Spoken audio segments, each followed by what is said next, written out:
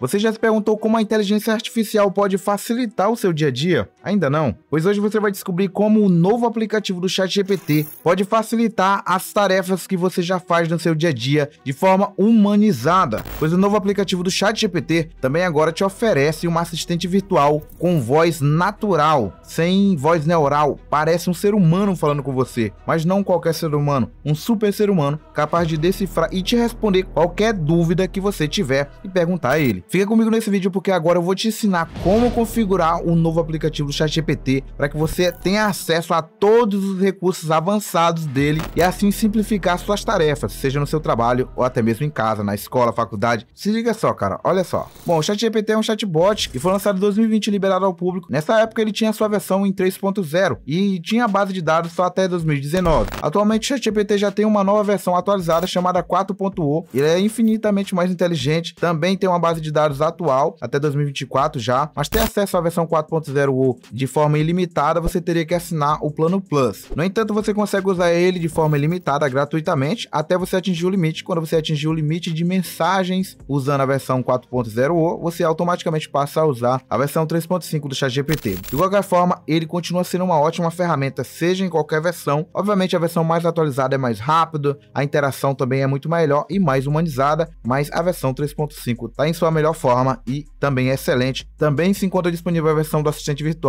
que não tem limite de conversação. Você pode bater um papo com ele aí por horas, conversando sobre qualquer assunto ou tirando qualquer dúvida que ele vai te ajudar. Agora que você já sabe disso, vamos lá fazer aqui as configurações no nosso aplicativo. Bom, pessoal, a primeira coisa que você vai ter que fazer, obviamente, é acessar aí a loja de aplicativo do seu aparelho, se for Apple Store ou Google Play Store, você vai pesquisar aí por ChatGPT. Esse daqui é a versão oficial. A versão oficial tem o nome OpenAI, que é a desenvolvedora do aplicativo, então quando baixar, prestem atenção aí. Eu sou testador beta, porém todos os recursos que eu vou te mostrar tá tem tanto na versão para quem não é testador, quanto na versão para quem é, como o meu caso aqui. Eu vou selecionar em abrir o aplicativo, a gente entra nele e assim, eu vou dar algumas introduções nesse aplicativo aqui para você que é leigo, talvez não conheça o app também, então eu quero deixar claro assim, para que todo mundo realmente saia desse vídeo aqui com o conhecimento necessário para usar e abusar do chat GPT. Bem, como eu falei para vocês, ele é um chatbot, você pode aqui conversar com ele, você pode digitar, por exemplo, oi, ele vai te responder de forma imediata, um assistente virtual de forma de chat, né? Porém, atualmente também, ele conversa com você, pode falar e ele vai te responder em tempo real com voz oficial. A voz que ele usa aqui não é uma voz neural, é uma voz que parece um ser humano conversando com você, você vai já ver isso aqui nesse vídeo. A gente vai começar aqui pela criação. Quando você conversa com ele, ele vai responder automaticamente para você e toda vez que você quiser conversar com ele de algo diferente, você pode selecionar nesse íconezinho aqui em cima, que parece um appzinho, né? Onde você selecionando nele cria um novo chat. E aqui você pode falar sobre determinado assunto com ele, separando os chats e dessa forma você mantém o assunto a partir daquele eh, conversa antiga que você teve com ele. Por exemplo, se a gente selecionar aqui, a gente vê também os chats que foram que eu conversei aqui com o ChatGPT no passado. Eu já tive uma conversa com ele e toda vez que eu seleciono um novo chat, fica aqui nessa opção o histórico do meu chat com ele, da minha conversa com ele. Então aqui eu tenho algumas conversas, a conta que eu criei nova, por isso não tem muito chat com ele. E minha conta antiga, eu tenho vários bate-papo aqui com ele. Então aqui fica todas as conversas que eu tive anteriormente com ele. E você pode, se quiser continuar um determinado assunto, você seleciona, por exemplo, essa conversa aqui que eu tive com ele. A partir daqui, se eu falar com ele qualquer conversa, ele já vai entender que é uma continuação dessa conversa aqui, né? Se eu entrar no assunto com ele, ó, continuamos falando, ele vai continuar falando sobre esse assunto, ele vai, ele vai continuar nessa mesma ideia aqui dessa conversa que eu tive com ele. Se eu abrir um novo chat aqui e conversar com ele sobre como criar conteúdo para o YouTube, vai ficar esse chat salvo aqui. E aí, se eu quiser conversar uma nova coisa com ele, agora eu quero conversar com ele sobre como eu posso formatar o meu PC. Então ele vai criar um novo chat. Eu fazendo dessa forma, eu posso continuar o assunto em chat separado.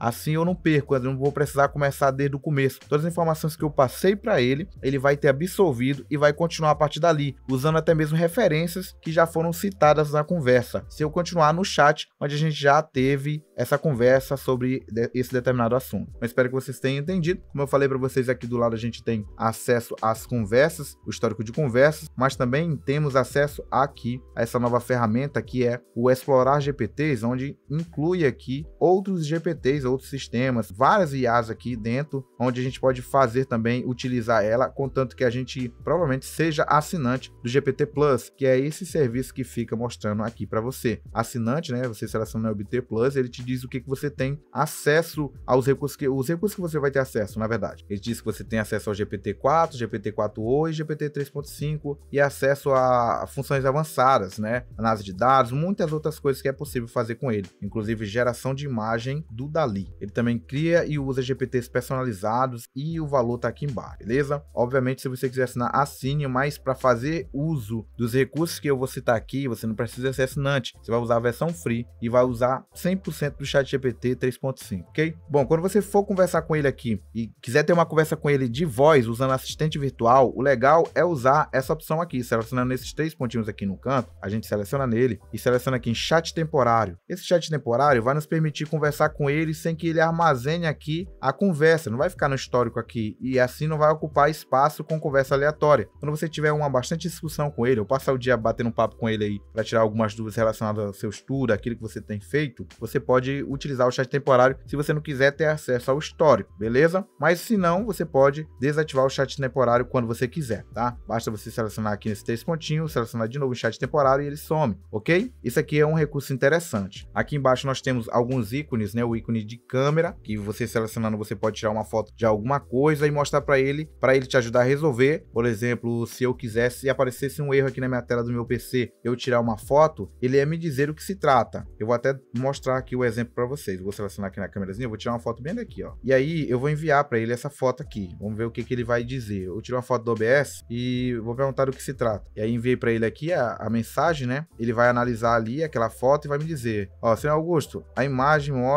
a interface de um software de streaming e gravação de vídeo, provavelmente OBS Studio. Muito bom, cara, muito bom. A inteligência dele, eu tirei uma foto que não tá nessa excelente qualidade, como vocês conseguem ver aí, e ainda assim não mostrei todo o OBS e ele identificou que era o OBS Studio. Muito inteligente, né? É para usar esse recurso, você só usa, né? Você só consegue usar no ChatGPT 4.0 ou no ChatGPT 3.5, você não vai conseguir enviar uma foto, é, tirar uma foto ou enviar uma foto caso você já tenha na sua galeria, você não vai conseguir, pois é, esse recurso só é disponível no 4.0 ou. Para ter acesso sem limite ao ChatGPT 4.0 ou, que é a versão que é paga também, sem limites, né? Você precisa fazer assinatura. Eu tô conseguindo usar, não é porque eu sou assinante, não sou assinante do ChatGPT Plus, é porque você consegue usar o ChatGPT 4.0 ou até a, alcançar o limite, até, até atingir o limite de uso gratuito. Você pode usar gratuitamente esse, essa versão desse chat e assim, né, em alguns momentos experimentar a potência total aqui do chat GPT na sua maior atualização, que é 4.0 atualmente. E você sabe disso que está usando, pois ao selecionar na conversa, aqui você consegue ver quem foi que gerou essa conversa, ó, GPT 4.0 né? Melhor, 4.0, né? Essa aqui é o GPT. A gente pode a partir daqui também ler a conversa, ó, ler em voz alta. A gente pode também gerar novas respostas e aqui copiar o texto, selecionar um texto. Para cada opção dessa aqui tem um porquê. Por exemplo, se eu selecionar em copiar texto, ele vai copiar só tudo que está aqui. Mas se eu pressionar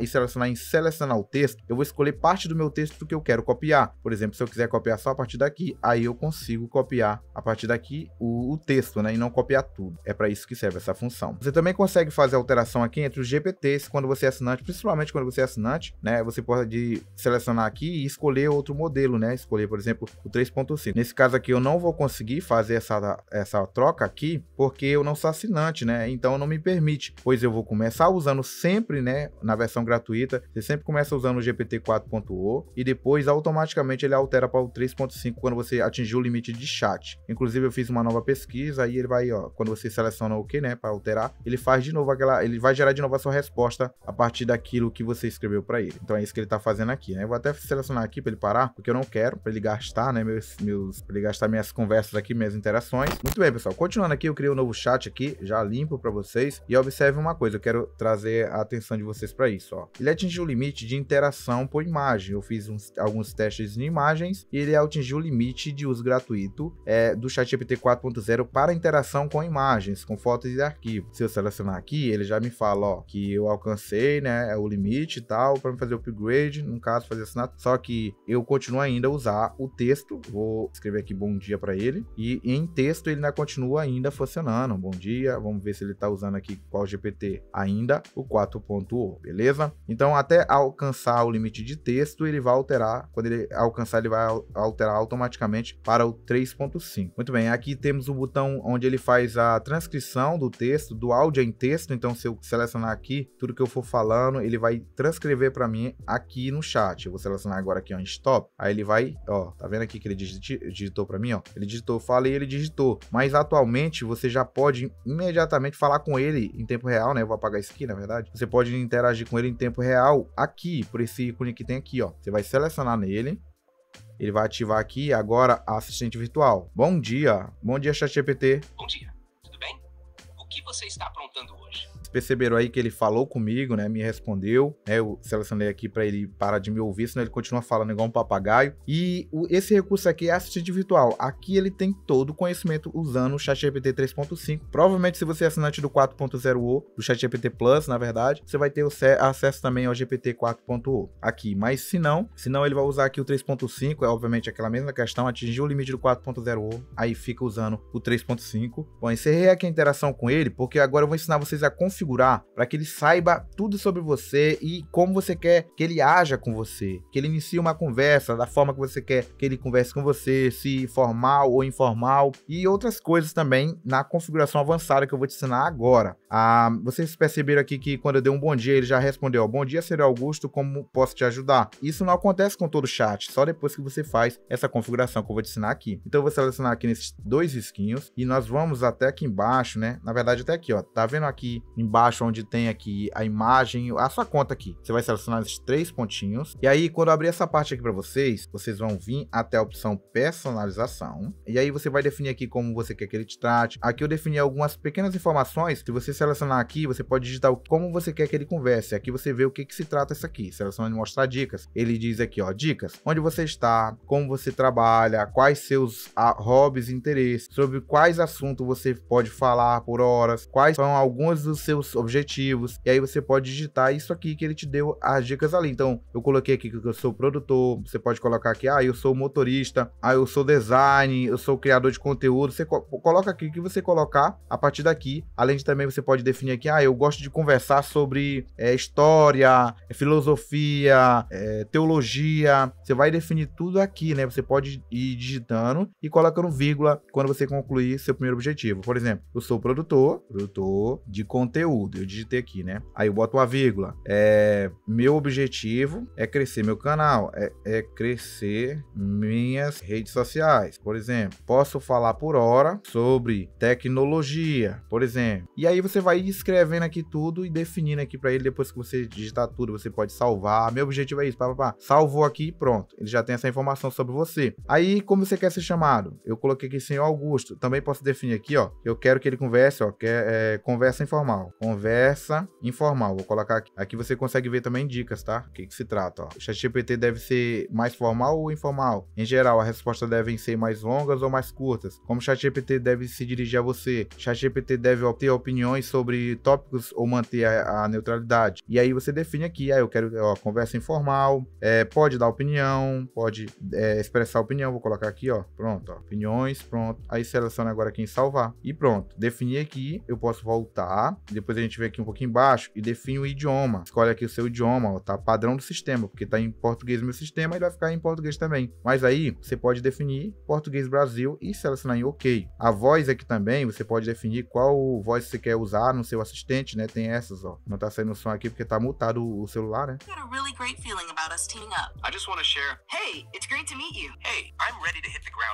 Eu gosto dessa voz aqui, né? Do Brasa. eu gosto dessa voz aqui, então eu vou usar ela. E aí aqui também você tem tem acesso aos chats arquivados. Você pode arquivar os chats, eles vão ficar aqui, tá? Feito isso, pronto. Você pode sair daqui e aí você pode iniciar um novo chat aqui com ele, ó. E agora você pode conversar com ele aqui, que ele vai estar tá respondendo. Vamos lá, conversar aqui. Bom dia, ChatGPT. Bom dia, senhor Augusto. Como você está hoje? Eu estou bem, quero conversar. Claro, vamos conversar. Algum assunto específico em mente? Ou quer apenas bater um papo sobre o dia a dia? É, vamos falar sobre o que eu gosto mais de falar, né? Com certeza, tecnologia é sempre um ótimo tema. Tem algo recente que chamou sua atenção? Ou algum projeto interessante que você está trabalhando? Na verdade, eu queria que você fizesse uma pesquisa rápida aí sobre os assuntos mais falados é, em relacionado à tecnologia. Nesse momento ele está pesquisando. Vamos lá. Atualmente, alguns dos tópicos mais comentados dia são bastante variados e vão desde avanços em inteligência artificial até novas soluções energéticas. Os maiores destaques é a inteligência artificial Eu dei um pause aqui é, para ele, para ele parar de falar, que senão ele vai falar por horas, né? Porque assunto de tecnologia, eu defini que eu posso falar por horas. Então ele ia ficar batendo papo aqui para sempre comigo. Então, assim, esse é o assistente virtual. Você pode falar com ele aqui e, e tudo que você fala, ele vai escrevendo aqui também. Então, se você falou alguma coisa que é, rolou um interesse particular, você pode depois vir aqui. Quem sabe eu quero escrever isso. Você pode usar o que você conversou e escrever lá é um livro, é, usar para fazer uma redação. É obviamente, né? Não fique só usando a inteligência artificial ao seu benefício para você ficar preguiçoso. Usa ela para ela aprimorar sua inteligência. Não é para você ficar menos inteligente e deixar ela só ela ficar inteligente, só ela aprender com você, tá bom? Então é isso assim. Eu acho que essas dicas que eu te dei aqui vão fazer você criar conteúdo de uma forma muito mais abrangente. Se você é criador de conteúdo, se você é design, se você sabe no que você precisar, aqui tem resposta suficiente. É, eu, por exemplo, converso muito sobre teologia com ele, com ele aqui e ele tem me ajudado muito a entender algumas coisas. E assim, tudo que é novo ou toda tecnologia pode ser útil, depende da pessoa que está conversando com ela. Quando se trata de inteligência artificial, então, não tem o que falar, né? Se você usar para o bem, vai ser benéfico para você. Se usar para o mal, provavelmente vai ser maléfico também. Mas esse vídeo vai ficando por aqui. Aqui do lado eu quero deixar alguns vídeos que a gente já falou sobre ele também e espero que você tenha gostado. A gente ensinou a colocar ele como assistente aqui do iPhone. Estamos trabalhando aqui para colocar ele como assistente de voz já também no Android. Fica aí ligado aí no canal, tem muito conteúdo que vai te interessar. Vou ficando por aqui, valeu, até o próximo vídeo, tchau. E aí, acho que ficou bom? Tu nem viu, ouviu nada, mano. Isso que eu ia falar. Eu não peguei nada.